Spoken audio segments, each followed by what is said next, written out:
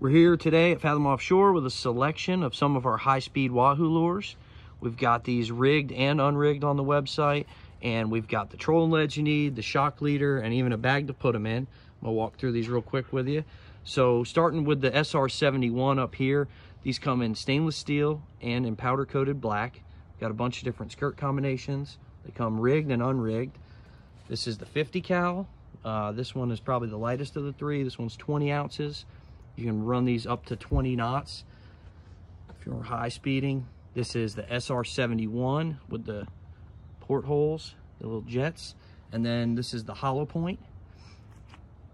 All three of these super effective. I'd say the SR71 right here is our most popular.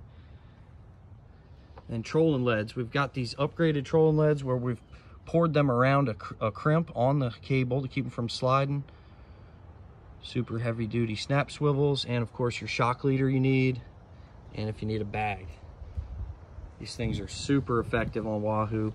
And like I said, you control these up to 20 knots effectively.